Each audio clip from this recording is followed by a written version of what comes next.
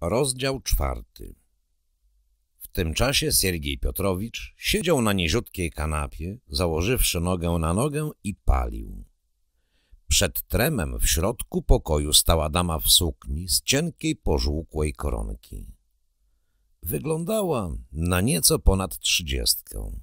W ciemnych, krótko ostrzyżonych i ufryzurowanych włosach błyskała siwizna. Była wysoka, postawna, chociaż nieco pulchna. Miała duże, zamyślone, szarozielone oczy rusałki. Pokój był zaniedbany. Na ścianach między starymi francuskimi rycinami widniał afisz teatralny. Obok was i zakurzonych portretów resztki śniadania, żelazko i sterta nieprasowanej bielizny na inkrustowanym stoliku. Łuszcząca się farba na suficie, odklejone gdzieniegdzie tapety, ale antyczne meble miały niepowtarzalny urok, a mnóstwo nut i pisanych ręcznie partii, tomik niwy, wazon z pękiem zasuszonego wrzosu wnosiły powiew życia do tego wnętrza, na którym ubóstwo i tragiczne wydarzenia odcisnęły swoje piętno. — Nie denerwuj się, zaraz będę gotowa — powiedziała dama. — Wcale ciebie nie popędzam, Nino. Siergiej Piotrowicz sięgnął po gazetę. — Czy się zdecydowałaś, co będziesz śpiewała? — spytał po chwili. — Ach, nie wiem, coś tam wymyślę. Arię z carskiej narzeczonej lub kołysankę z Mazepy. Jesień Grecianinowa i jego śpi zaśnij. Dwie kołysanki w jednym koncercie? Czy to nie za dużo? Powiedział. Wyraźnie masz do nich słabość. Rzeczywiście, kto jak kto, ale ty powinieneś wiedzieć dlaczego. Czyż się tego nigdy nie doczekam? Dodała. To nie jest czas na takie rozmowy, burknął z irytacją. Nadąsałeś się? Jesteś egoistą, jak każdy mężczyzna. I co z tego? Zniecierpliwił się. Czy nigdy go nie będzie? Nie masz dwudziestu lat, Nino. Trzeba było o tym myśleć, kiedy byłaś zamężna, ale wtedy chciałaś być wolna i zgrabna. A teraz żądasz ode mnie rzeczy niemożliwej. Mam na karku matkę, bratanicę i francuskę. Nie starcza nam pieniędzy, które zarabiam, grając w orkiestrze i dając przypadkowe koncerty. Ty także nic nie masz. A poza tym nie jesteśmy małżeństwem, trzeba o tym pamiętać. To głupstwo, machnęła ręką. Nie te czasy. Kogo dziś obchodzi sowiecka metryka ślubu? Powiedz uczciwie, że nie przepadasz za dziećmi. Zawsze kochałem dzieci. Kiedyś w Bierezowce chodziłem specjalnie, żeby zobaczyć, jak się budzi Asia. Policzki miała różowe, była cieplutka, przecierała piąstkami oczka i tak się rozkosznie przeciągała. Hmm. Myślałem wtedy, że jeśli się kiedyś ożenię, to koniecznie będę miał dzieci. Ale co innego wtedy, a co innego teraz. Życie się zmieniło. I ja także. Jestem teraz inny, zmęczony, udręczony. Nie potrafię zaczynać od nowa. No i, no i część ojcowskich uczuć poświęciłem Asi. Siergiej Pietrowicz zamilkł. Przypomniało mu się zajęcie Krymu przez Czerwonych, kiedy jego starszy brat, Wsiewołod, został rozstrzelany. Siergiej okropnie lękał się o los Asi i ledwo odszukał ją w jakimś magazynie na przedmieściach Sewastopola. Rzuciła mu się na szyję, chudziutka, wygłodzona. Wsiewołod niepotrzebnie zabrał rodzinę na Krym, gdzie były skoncentrowane siły białych. Wciągnął żonę i dzieci w samo centrum wydarzeń. Lepiej byłoby, gdyby poczekały ten czas gdzieś na wsi albo w Petersburgu z matką. W Petersburgu było spokojniej. Nikt oczywiście nie mógł przewidzieć, jak się potoczą wydarzenia, ale skutki były opłakane. Żona i synek Wsiewołoda umarli na tyfus, a na Krymie po jego własnej śmierci mogła także zginąć Asia. Niektórzy dziwią się teraz, że przygarnęli madam, ale to ona przecież zaopiekowała się dzieckiem w najtrudniejszych chwilach. Są uczynki, których nie sposób zapomnieć. Spojrzał na Ninę. Ich oczy się spotkały. Wybacz mi, powiedziała, jak gdyby odgadła jego myśli. Oczy miała wilgotne. Tyle przeżyliście, a mnie los także doświadczył. Powiedz, czy Asia się domyśla? Czego, że jesteśmy ze sobą? Chyba nie, jest zbyt naiwna. A poza tym tylko raz widziała nas razem. Dlaczego się więc zmieszała, kiedy na ostatnim koncercie przedstawiłeś nas sobie? Nie wiem, nie zauważyłem. A może, może rzeczywiście się domyśla? Zapanowało milczenie. Podziwiam ją, niczym własnoręcznie wyhodowaną roślinkę, powiedział Siergiej Pietrowicz. Wyjął papierośnicę. Asia budzi we mnie niepokój i litość. Moja matka jest dla niej zbyt surowa. Wydaje mi się, że nie będzie miała szczęśliwego życia. Przekonasz się. Depczą jej po piętach niepowodzenia. Nie potrafi się bronić, a o szczęście trzeba walczyć. Co innego Lela, mały drapieżnik, który w razie potrzeby pokaże pazurki. To milutkie stworzenia, ta mała nielidowa, powiedziała Nina. Kiedyś w jakimś klubie robotniczym, w małym pokoiku udającym garderobę, czesała się przed lustrem, czekając na Siergieja Pietrowicza, z którym zwykle hałturzyła. Nagle usłyszała jego głos. Odwróciła się i ujrzała go w towarzystwie dwóch młodziutkich dziewcząt. Były tak bardzo niepodobne do otaczającej publiczności, więc się zrazu domyśliła, że to Asia i Lela, o których tyle słyszała. Ich twarzyczki były takie świeże i młode, że westchnęła na myśl o tym, co sama już utraciła. Zarumienione od mrozu tuliły się do siebie i nie odstępowały na krok Siergieja Piotrowicza. Robiły wrażenie trochę zagubionych w obcym otoczeniu. Wkrótce Siergiej Piotrowicz poprowadził je na widownię. Zanim wyszedł ze skrzypcami na estradę, powiedział, zacierając nerwowo ręce. Wyobrażam sobie, jak się Asia denerwuje. Ma zawsze tremę przed moim występem. Potem ze sceny odszukała wzrokiem Asię, która siedziała przytulona do kuzynki, a w oczach miała tyle uwagi, niepokoju i ciepła, że Nina poczuła falę wdzięczności dla tej młodej istoty. Po koncercie jednak w szatni przenikliwym kobiecym wzrokiem zauważyła, z jaką tkliwością Siergiej Piotrowicz otula Asię orenburską chustą. Taką czułością można darzyć dziecko lub ukochaną kobietę. Serce Niny przeszył ostry ból. Wydało się jej, że na nią Siergiej Piotrowicz nigdy tak nie patrzył. Ten ból wspominała teraz. Siergiej Piotrowicz pierwszy przerwał milczenie. Kiedy szedłem do ciebie, spotkałem siostrę wdowy po moim bracie, Zinajdę Glebowną Nielidową. Klepaliśmy razem biedę na Krymie. Stała jak żebraczka przy rynnie i sprzedawała koszmarne sztuczne róże. Mój Boże, jakże żałośnie wyglądała. Kupiłem dwa kwiatki, a kiedy jeszcze ucałowałem jej ręce, wybuchła wśród przechodniów sensacja. Ktoś nawet powiedział – Dwoje niedobitków, zadaje szyku. Widocznie mój szarmancki gest zanadto kontrastował z jej ubogim strojem. Z moim zresztą także. Nawiasem mówiąc, w jej wyglądzie jest jakaś schludność, która pozwala bezbłędnie zaliczyć ją do kręgu byłych. Na ulicy jak żebraczka. Niegdyś wytworna pani, córka senatora, żona oficera gwardii. Tak wygląda nasza rzeczywistość. Nina wykonała kilka arpeggio. Pokój wypełniły czyste, srebrne dźwięki. Była dzisiaj przy głosie. Zawsze dobrze śpiewała, kiedy było jej smutno. Siergiej Piotrowicz westchnął na myśl o audytorium, które ich czeka w przesiąkniętej dymem papierosowym sali fabrycznego klubu.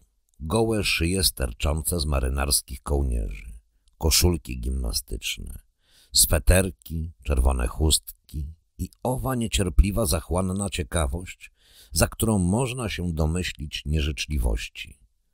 A nuż zmylą się ci byli, ale będzie śmiechu.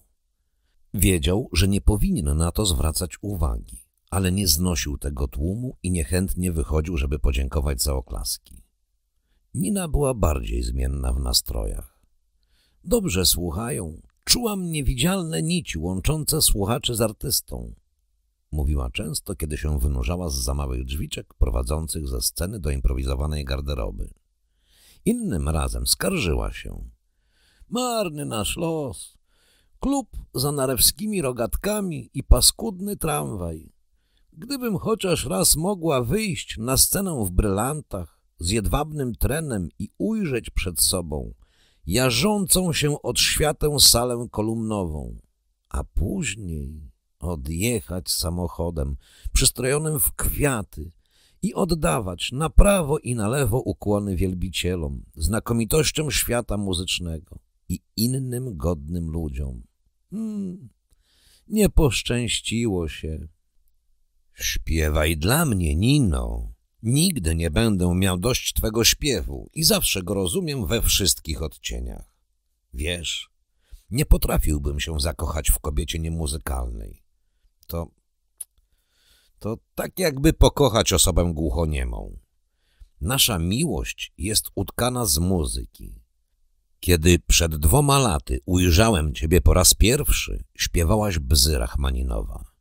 Przypomniałem sobie alejki z bzami w naszej Bierezowce. Na chwilę wyobraziłem sobie twoją twarz okolaną bzami, jak u wróbla. Pomyślałem, że masz głos podobny do głosu Zagiełły. Zakochałem się w twoim głosie, a dopiero później w tobie. Zbliżyły nas wspólne występy. Dziwne. W dzieciństwie obrywałem za skrzypce. Matka chciała, żebym został wojskowym. Nawet słyszeć nie chciała o uniwersytecie czy konserwatorium. Ha, a teraz? Teraz właśnie skrzypce nas karmią. Siergiej Piotrowicz nie ukończył studiów uniwersyteckich. Został mu ostatni rok, kiedy zaczęła się wojna. Natychmiast się przeniósł do junkierskich klas w korpusie paziów. Rodzina przyjęła z uznaniem ten gest. W domu bożyszczem był Wsiewołod, zawodowy oficer w pułku preobrażeńskim. A Siergieja z jego skrzypcami zawsze traktowano trochę jakby syna marnotrawnego. Ale w tamtych czasach zachwyty rodziny skoncentrowały się na nim. Nina zbliżyła się do niego. Dotknęła pieszczotliwie jego włosów. Muszę ci coś powiedzieć. Wyjaśnić. Niezbyt dokładnie wyobrażasz sobie moje zamężne życie. Wyszłam bardzo wcześnie za mąż. Byłam taką gąską jak twoja Asia. Weszłam do patriarchalnej rodziny. Urodziłam dziecko, ale to były okropne czasy. Wkrótce straciłam moje maleństwo zanim się jeszcze dowiedziałam o śmierci męża. Nie mówię o tym nigdy, bo to zbyt bolesne. Nie chciałabym jednak, żebyś traktował mnie jako kobietę lekkomyślną. Przysięgam, że nigdy tak o tobie nie pomyślałem. Słowo honoru. Poczekaj, Nino. Asia tak wyładniała, pewnie szybko wyjdzie za mąż. Wtedy ułożymy sobie życie. Ucałował jej rękę, a ona wciąż bawiła się jego włosami. Znowu są aresztowania byłych wojskowych. Uważaj, nie daj się złapać, bo twoja Asia będzie musiała sprzedawać kwiaty, jak madam Nielidowa. To przeznaczenie, Nino. Jeden tylko Pan Bóg wie, jak się obawiam tego, co może czekać ją i matkę. Nawiasem mówiąc, wczoraj wzywano mnie do trzech liter. Do GPU? Ciebie? Tak, moi nic nie wiedzą, nic im nie mówiłem. Pogawędzili ze mną miło dwie godziny. Wycierali sobie gęby nazwiskiem mego ojca i brata i barona Wrangla także. Pytali, u kogo bywam. Nie bój się, nie wymieniłem ciebie. Powiedziałem, że mam dużo pracy i nigdzie nie chodzę. No i puścili. U, nie podoba mi się ta historia, powiedziała Nina. Rzeczywiście, to nic dobrego, ale teraz biorą raczej zawodowych. Mój drogi, czyż im nie wystarczy, że jesteś synem generała, a prócz tego białym oficerem? Oczywiście mają pod dostatkiem powodów. Nie potrzebują zresztą powodów. Dzisiaj jest człowiek, a jutro go nie ma. To paskudne uczucie, kiedy człowiek tam idzie i wyobraża sobie, o co mogą pytać i jakie będą zastawiać sidła. Ale nie mówmy o tym. Zaśpiewaj kołysankę i pojedziemy. Twój śpiew przepędza złe myśli. Zaśpiewaj, Nino. I powiedz, powiedz, że się na mnie nie gniewasz. Rozdział piąty Tam okręt wyniosły kotwiczył, a wczoraj odpłynął w morze. Aleksander Błok Fortepian stał w pokoju Siergieja Piotrowicza. Panował tu stale bałagan. Na fortepianie, pulpicie, nawet na krzesłach leżały nuty, partytury, otwarte książki, papier nutowy, nie mieszczące się w wypchanej szafie. Siergiej Piotrowicz nie pozwalał tego ruszać podczas codziennych porządków. Obawiał się, że po ingerencji kobiecych rąk w nieład jego pokoju nie znajdzie szkicu lub nowego utworu lub strony, na której przerwał lekturę.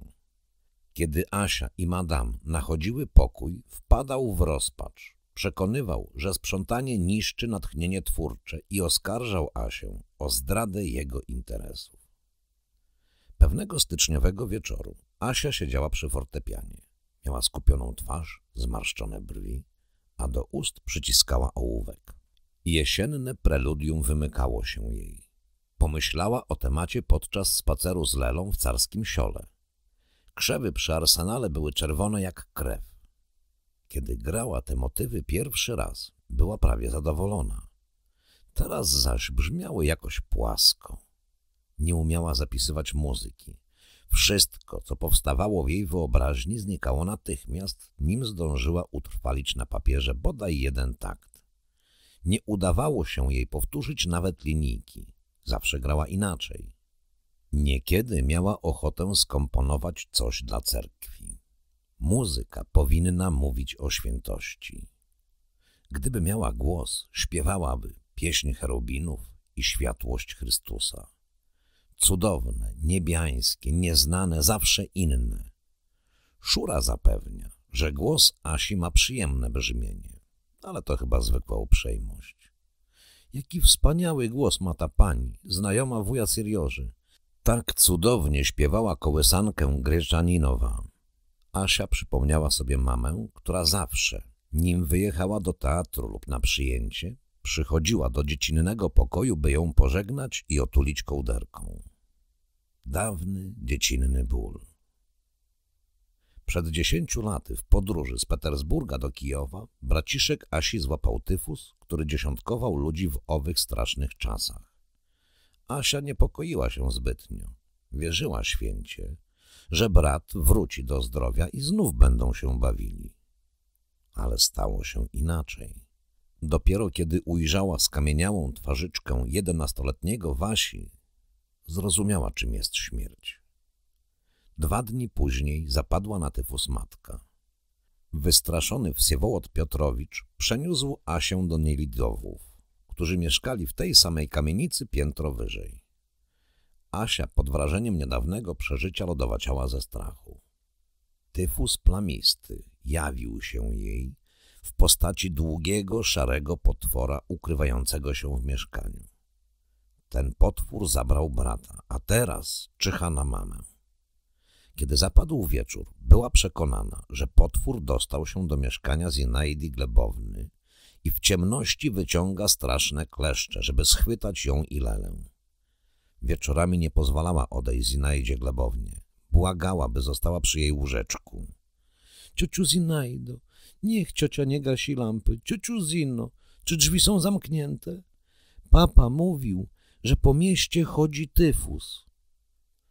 Ale niepokój o matkę był tak wielki, że kiedy wszyscy spali, wychodziła z łóżeczka i na klęczkach błagała Pana Boga, by bronił mamę przed potworem. Modlitwę na klęczkach od najmłodszych lat uważała za najpewniejszy ratunek. A kiedy na schodach mijała drzwi do mieszkania ojca, biegła pędem z zamkniętymi oczami. Pewnego wieczoru, Lala już spała, a ona wciąż leżała z paluszkami ułożonymi tak, by szybko wykonać znak krzyża i odpędzić potwora, myślała o tym, że pewnie madam bardzo się boi w mieszkaniu ojca. Jest sama. Ojciec cały dzień spędza w jednostce wojskowej. Tylko wieczorem wpada, żeby dowiedzieć się o zdrowie mamy. Madam samiuteńka czuwa przy majaczącej chorej. Nagle usłyszała za ścianą głos madam. Uniosła się na łokciu nasłuchując. Teraz nie mieli takiego mieszkania jak w Petersburgu. Nie było amfilady pokoi. Zinaida Glebowna i madam rozmawiały w sąsiednim pokoju. Zrozumiała, że mama nie żyje.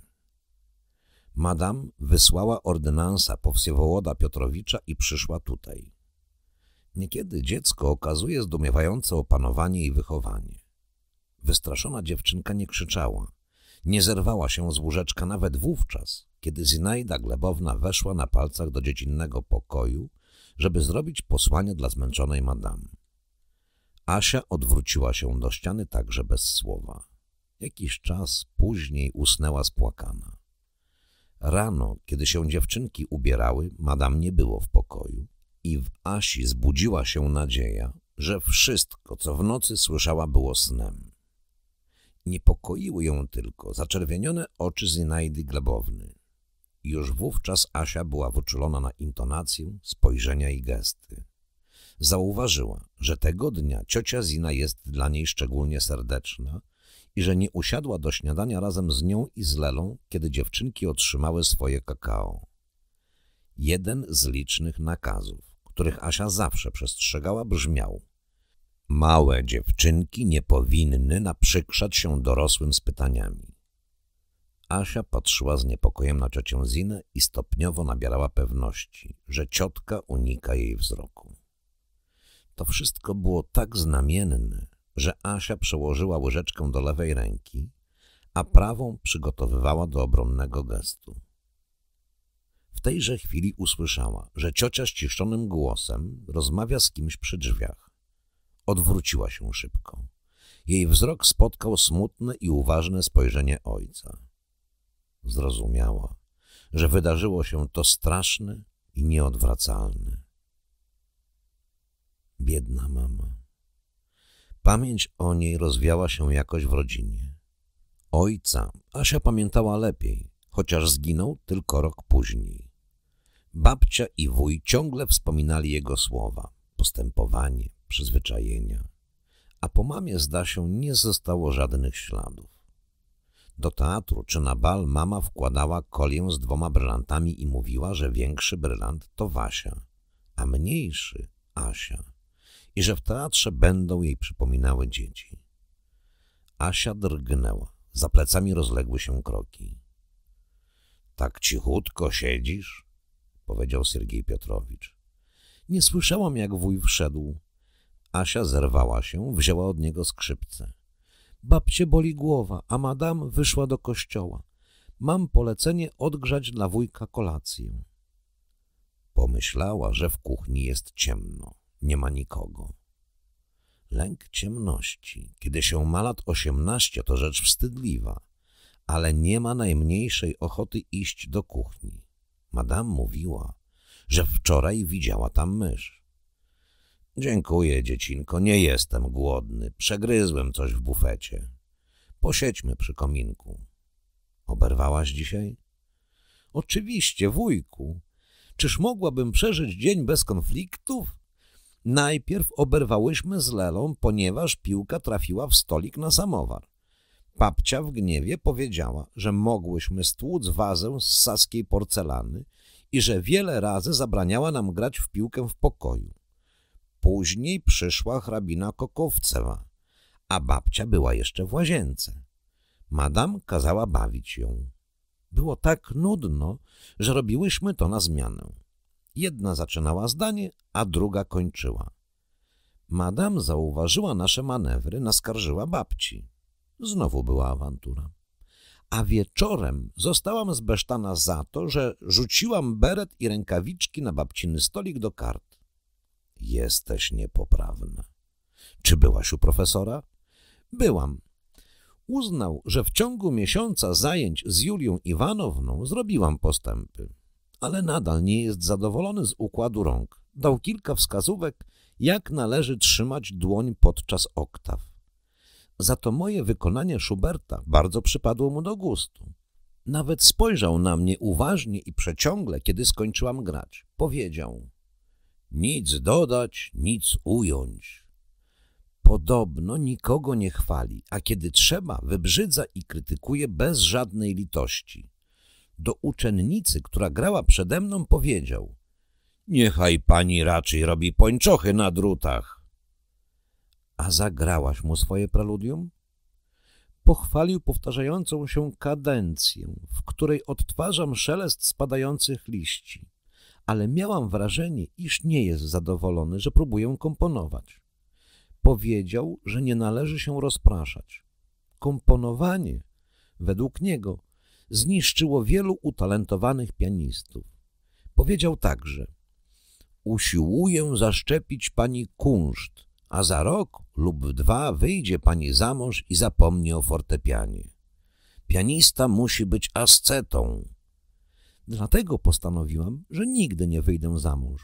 Powiedziałam mu o tym, żeby go uspokoić. Dlaczego wujek się śmieje? Twoje rozważania są takie dziecinne. Dawniej nawet by mi na myśl nie przyszło, że możesz zostać zawodową pianistką i zarabiać muzyką. Ale życie się zmieniło. Dziś to najlepsza przyszłość, jakiej bym ci życzył. W dzieciństwie płakałaś, kiedy słyszałaś minorową melodię. Już wtedy mówiłem, że jesteś muzykalna. W wieku czterech lat nie mogłaś zasnąć bez kołysanki Ladowa lub Czajkowskiego. W Bierezowce, kiedy wchodziłem do pokoju dziecinnego, podskakiwałaś w łóżeczku i powtarzałaś — chcę lala, chcę lala! Byłaś ulubienicą całej rodziny. Powiedz, co zaszło między tobą a Lelą? Zdaje się, że znudziły ją nasze rozrywki, cały ten światek, który sobie stworzyliśmy, żeby jakoś upiększyć nieznośne życie. Spojrzała na niego ze smutkiem i niepokojem. Teraz widzę, kochany wuju, że tylko ja jedna byłam szczęśliwa, ale tego nie dostrzegałam. Jakże lubił dziecinną zmienność jej twarzy.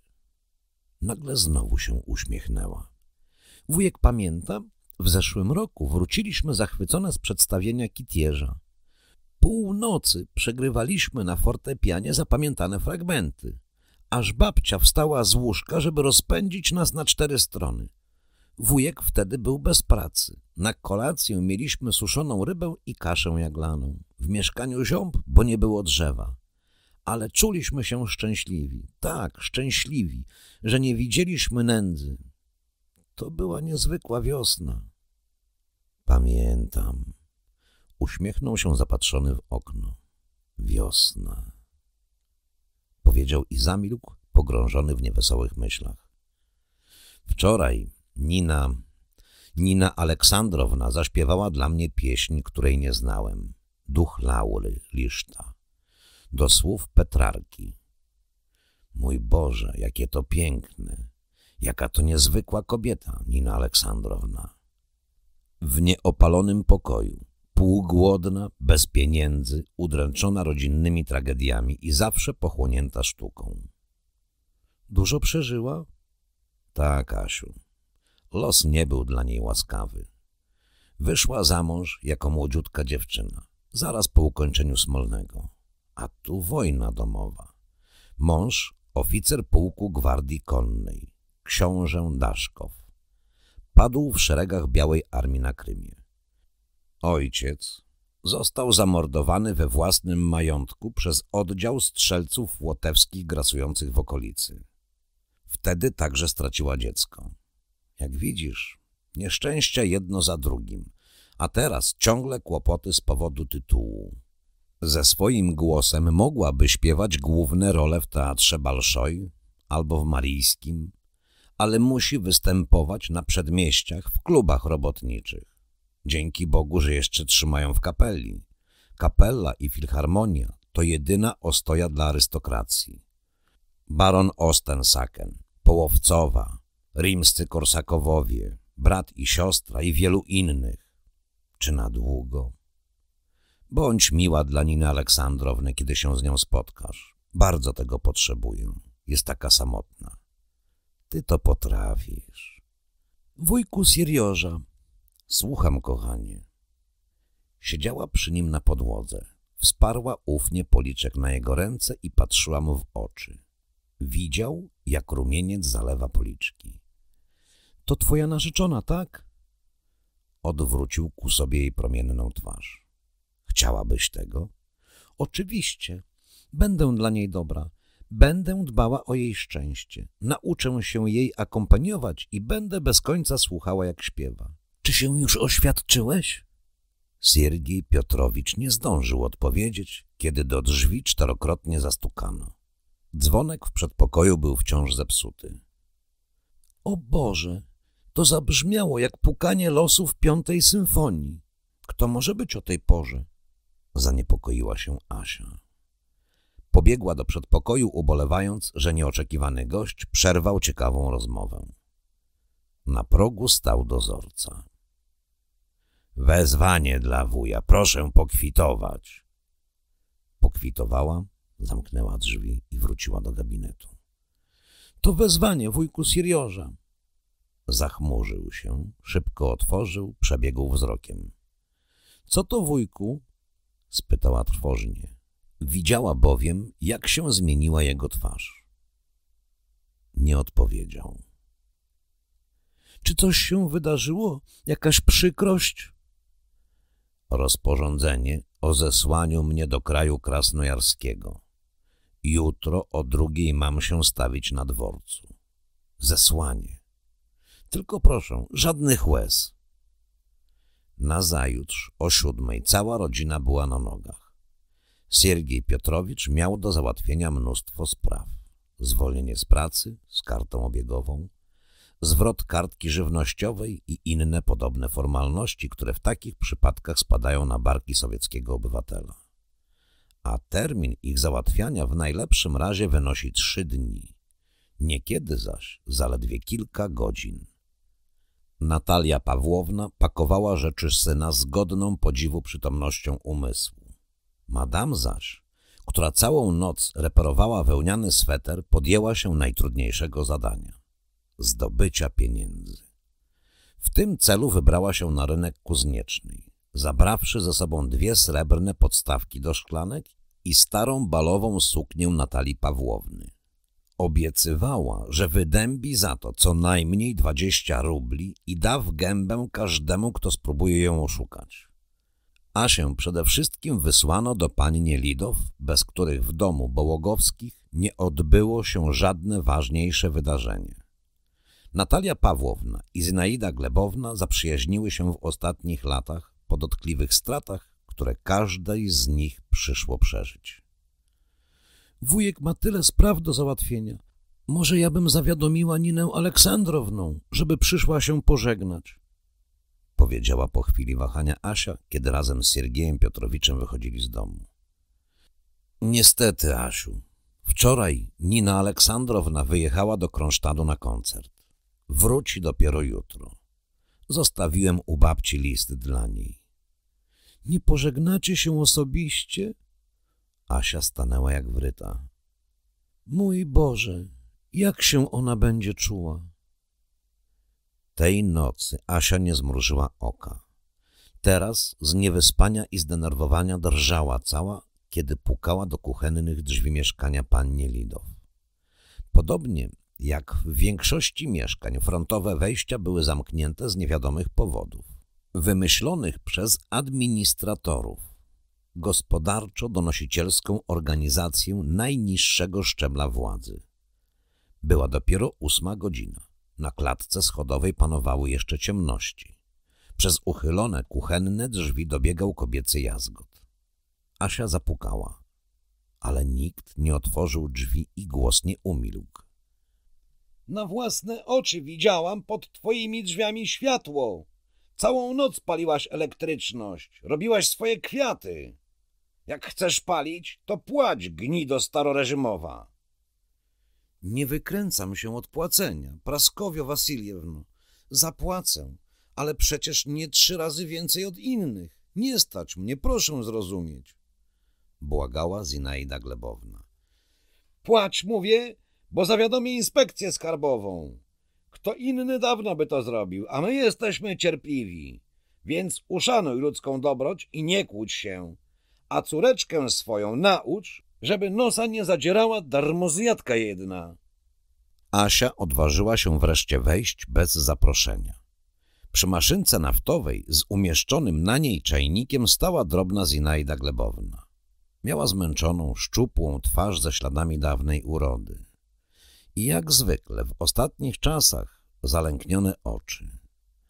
A obok potężne, rozwścieczone babsko zajmujące, jak się wydawało, połowę ciasnej kuchenki. Asiu, dziecinko, chodź, chodź, kochanie, zawołała Zinaida Glebowna na widok kuzynki. Ale babsko wyraźnie nie wyładowało się jeszcze. Całą kuchnię zadaptała. Kto ma sprzątać po twoich gościach? Ja? Dopiero w małym, prawie pustym pokoiku obecnym schronieniu rodziny byłego szambelana Asia rozpłakała się po raz pierwszy, tuląc się do cioci Zyny i opowiadając o tym, co się wydarzyło. Zinaida Glebowna, podobnie jak Natalia Pawłowna, wiedziała już, że rozpacz jest złym pomocnikiem. By załatwić tysiące drobnych, lecz ważnych spraw, trzeba zachować spokój i rozwagę. Więc się szybko wzięła w garść. Poczęstowała Asię ciastem i jęła dobierać ciepłe rzeczy dla Sergieja Piotrowicza. Z okutanego kufra wyjęła oficerski baszłyk i wełniane skarpetki. Kufer ten z wiekiem malowanym w kwiaty służył rodzinie Nielidowów od czasów Iwana Groźnego. A teraz był również łóżkiem. Rozkładano na nim siennik dla Leli. Godzinę później Zinaida Glebowna, Asia i Lela wyszły z domu. Zinaida Glebowna pobiegła do Natalii Pawłowny, a dziewczynki do komisów z pokwitowaniami na oddane tam do sprzedania rzeczy. W owych czasach komisy były pełne najwyszukańszych przedmiotów i trzeba było miesiącami czekać na ich sprzedanie. Siergiej Pietrowicz wrócił do domu ostatni, dwie godziny przed wyjazdem na dworzec. — Tak późno przychodzisz, Siergieju. Denerwowałyśmy się o ciebie. — Cóż zrobić? Musiałem w ciągu kilku godzin załatwić tyle spraw. — Zjedz kolację. Nie wiadomo, kiedy będziesz mógł się pożywić. Wymawiał się. Ale Natalia Pawłowna nie ustąpiła. Nim usiadł do stołu, ucałował ręce matki, a ona przytuliła do piersi jego głowę. Nielidowa i francuska ocierały łzy. Jest już stara.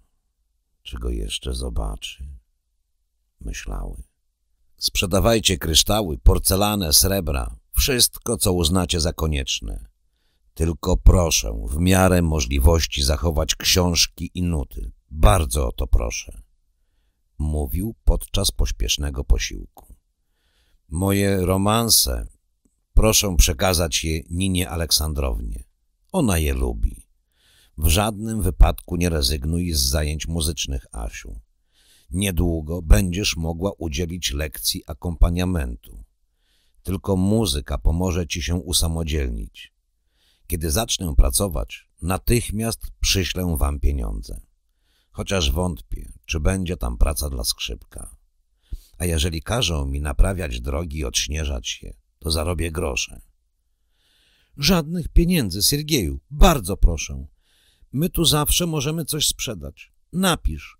Jeśli nie dostaniesz pracy, zaraz ci wyślemy paczkę i pieniądze, powiedziała Natalia Pawłowna. Ani mi się ważcie. Potrafię zarobić na życie. Rzekł zdecydowanie a w skrytości ducha pomyślał. Kto to wie? Mogą mi zabronić pracować. Niekiedy robią tak. Rozmowę przerwało przyjście starej hrabiny Kokowcewej. Mieszkała w tej samej kamienicy, piętro niżej i niekiedy wpadała do Natalii Pawłownej na partyjkę wista. Teraz przyczłapała o lasce, wsparta na ramieniu starej pokojówki. Ubrana była na czarno, czarnym, staromodnym czepku na siwych lokach. Wszyscy wstali. Siergiej Pietrowicz ucałował jej rękę. To... To Bóg wie co, to oburzające. Napiszę do brata w Paryżu. Odgrażała się, jakby chciała kogoś nastraszyć. Za chwilę wyszła, by nie krępować rodziny w momencie rozstania. Zaraz do drzwi zapukała sąsiadka, która niedawno otrzymała tu przydział. Przyszedł dozorca. Pyta się, pan już wyjechał? Za jej plecami ukazał się nieproszony gość. Czym mogę służyć, towarzyszu? spytał Siergiej Piotrowicz. Słowo towarzysz zabrzmiało tak ironicznie, że człowiek, który wszedł do pokoju w czapce, musiał odczuć, iż nie jest tu mile widziany. Przyszedłem sprawdzić wykonanie rozkazu. Nie podskakujcie, obywatelu. Jestem na służbie. Mam wyjechać o drugiej, a jest dopiero po dwunastej. Mam prawo przebywać we własnym mieszkaniu. Proszę się stąd natychmiast wynosić. Wasza obecność jest tu zbędna. Sorcz, ejunum dedia, zawołała Nielidowa i przytrzymała rękę Siergieja Pietrowicza. Czego się pani lęka, Zinaido Glebowna? To tylko gospodarz domu, a nie żaden komisarz czer zwyczajki. Ten nie jest władny wysłać ludzi na tamten świat. Gospodarz domu stał chwilę i wyszedł. Zniszczą najlepszych ludzi Rosji. Już ich niewiele zostało, powiedziała Nielidowa. Jest pani niesprawiedliwa, Zynaido Glebowna. Mnie ze względu na pochodzenie należało wykończyć w izolatce. Tymczasem zostaję tylko wysiedlony. Trzeba doceniać wspaniałomyślność władzy. Spojrzał na zegarek. Natalia Pawłowna stała przy drzwiach gabinetu. — Wejdź na chwilę — poprosiła syna. Cofnęła się w głąb pokoju. Szepnęła mu coś i pożegnała go. Postanowiono, że na dworzec odprowadzą Sergieja dziewczynki. Nielidowa z francuską tłumaczyły, gdzie są zapakowane ciepłe rzeczy i co należy zjeść najpierw. Pożegnały go. On ucałował im ręce. Kiedy miał już wyjść, rozległ się cichy skowyt. Spod fortepianu wyczołgała się umierająca harcica. Robiła nieprawdopodobne wysiłki, by dotrzeć do swego pana. Spojrzeli po sobie znacząco. Czyżby zrozumiała, co się dzieje?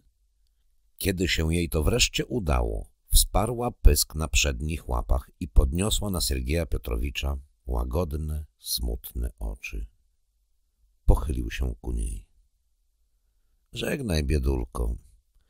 Pewnie nigdy już się nie zobaczymy. Złe czasy nadeszły, Diano. Pogłaskał ją po pysku. Gdzie jest Wsiewołod Pietrowicz? Pies rozejrzał się, zaskamlał. Pamięta mama? Sergiej Piotrowicz zwrócił się do matki. Kiedy w Bierezowce wracaliśmy z Wsiełowodem z polowania, ze zdobyczą, żaden z nas nie chciał powiedzieć, ile upolował. Rzecz w tym, że trafiał tylko Wsiewołod. Ja zawsze pudłowałem. A Diana doskonale o wszystkim wiedziała i miała mnie w wielkiej pogardzie. Nawet chodzić za mną nie chciała. Muszę już iść, bo się spóźnię. Na schodach odwrócił się. Matka stała na progu. Za nią Nielidowa i francuska. Patrzyły na niego. Natalia Pawłowna nawet teraz nie płakała, ale na pięknej, starczej twarzy malował się głęboki smutek, a szczupła dłoń kreśliła znak krzyża. Ileż to razy żegnała się z synem tym znakiem. Najpierw, kiedy odchodził na galicyjski front, potem do Białej Armii, a teraz na zesłanie. Był jedynym dzieckiem, które jej zostało. Ukochany, najstarszy syn został rozstrzelany. Córka wraz z rodziną zginęła podczas okupacji Krymu. Zapragnął nagle podbiec, jak za dziecinnych lat, przytulić do niej głowę. Ale tylko kiwnął ręką w pożegnalnym geście. Włożył kapelusz i pobiegł na dół, przeskakując stopnie. Dziewczynki szły za nim. We dwie dźwigały ciężki plecak i za nic nie chciały pozwolić, by go włożył na ramiona. Koniec rozdziału piątego.